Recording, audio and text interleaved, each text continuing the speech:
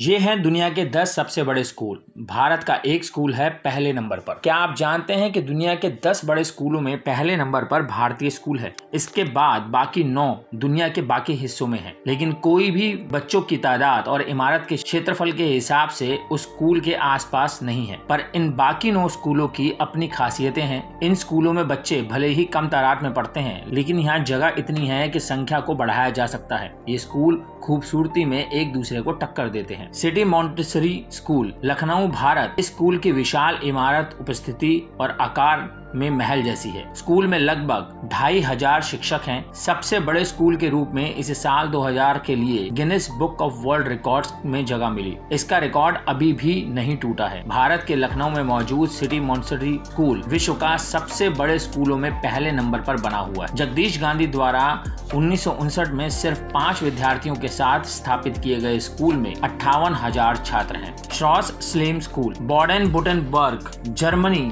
इस स्कूल की विशाल इमारत है। दक्षिणी जर्मन में यह सबसे बड़ा शैक्षणिक संस्थान है। स्कूल देखने में किसी महल जैसा लगता है। स्कूली बच्चों की भीड़ आसपास के लॉन में खूब एंजॉय करती है। यहाँ के लॉन देखने में बेहद खूबसूरत, दिखने में किसी बगीचे की तरह लगते हैं। De Kleine Kapitein school Amsterdam Netherlands दुनिया के सबसे बड़े स्कूलों में शामिल ये स्कूल मॉड्यूलर तकनीक पर बनाया गया है। यहाँ पर पढ़ने वाले बच्चों की तादाद तो ज़्यादा नहीं है, लेकिन ज़रूरत पड़े तो आसानी से कई गुना बढ़ाया जा सकता है। वर्तमान में स्टूडेंट की क्षमता 2000 छात्रों से अधिक नहीं है। यहाँ का स्ट्रक्चर इतना खूबसूरत है कि देखें तो पलक भी ना झपकाएँ। जिल आर्ट स्कूल मॉस्को रूस यह लिकचेव के पूर्व क्षेत्र में स्थित है, जहाँ स्थानीय निवासियों की आकांक्षाएँ अभी भी शॉपिंग सेंटर और आवासीय गगनचुंबी इमारतों के अलावा कुछ बनाने में कामयाब रही बेशक लखनऊ के पहले स्थान वाले स्कूल से तुलना करना असंभव है, लेकिन रूस में यह एक ही छत के नीचे सबसे बड़ा शैक्षणिक संस्थान है। Queen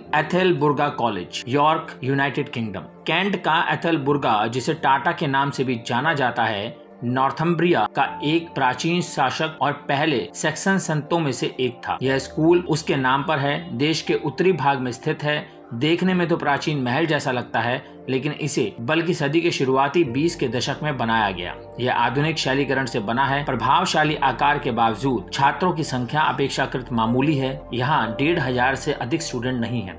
Terraset elementary school, Reston USA. इसकी इमारत बहुत विशाल है। हालाँकि देखने में ऐसा नहीं लगता क्योंकि इसका अधिकांश भाग तहखाने में स्थित है। इस तरह के एक अजीब इंजीनियरिंग समाधान को थर्मल ऊर्जा बचाने के लिए डिज़ाइन किया गया है। शैक्षणिक संस्थान सत्तर के दशक में बनाया गया था, जो की पश्चिम को पीड़ा देने वाले ऊर्जा संकट की पृष्ठभूमि के खिलाफ था। यहाँ अध्ययन करना बहुत आरामदायक नहीं है। इंटरनेशनल स्कूल, अबू धाबी, संयुक्त अरब अमीरात। इस भवन की चार दीवारी के भीतर डेढ़ हज़ार से अधिक विद्यार्थी पढ़ सकते हैं। इस अमीरात के अधिकांश स्कूलों की तरह यह एक बड़े पैमाने पर और नई तकनीक के साथ बनाया गया है। यहाँ की फ़िज़िकल और केमिकल लेबोरेटरी अमेरिका और यूरोपीय विश्वविद्यालयों को टक्कर दे सकती है।